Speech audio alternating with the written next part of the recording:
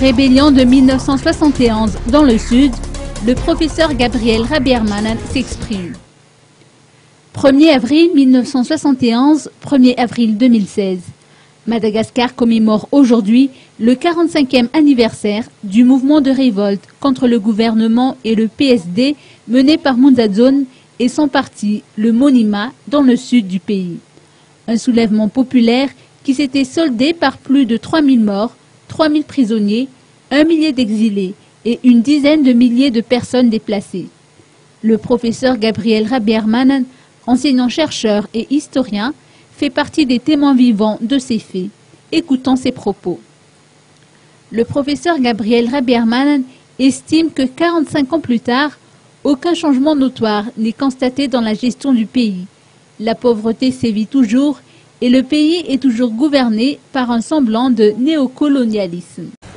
Le 1er avril 1971, euh, et le parti Monima ont dirigé des manifestations populaires dans de nombreuses localités et agglomérations dans ce qu'on appelle le sud malgache.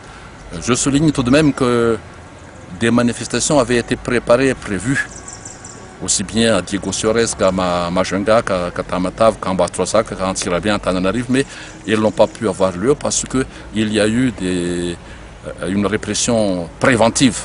Euh, je veux dire que je souligne que tous les dirigeants Monima dans ces localités-là ont été emprisonnés avant même le 1er avril.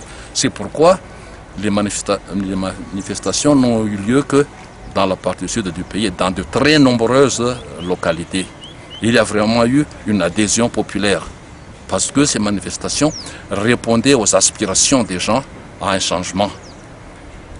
En face, le pouvoir PSD dirigé par le président Tsranen a déclenché une répression militaire féroce euh, qui a fait, euh, selon les chiffres officiels, seulement 45 morts, qui a fait, selon les sources indépendantes, entre 800 et 1000 morts. Et selon nos sources en homonymat, il y a eu environ 3000 morts. C'est pour, souligner l'ampleur de ces, de ces mouvements populaires qu'on a qualifié d'insurrection.